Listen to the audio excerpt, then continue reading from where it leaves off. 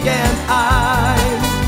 Ein Festival der Liebe, das braucht die ganze Welt, weil ohne Liebe alles fehlt.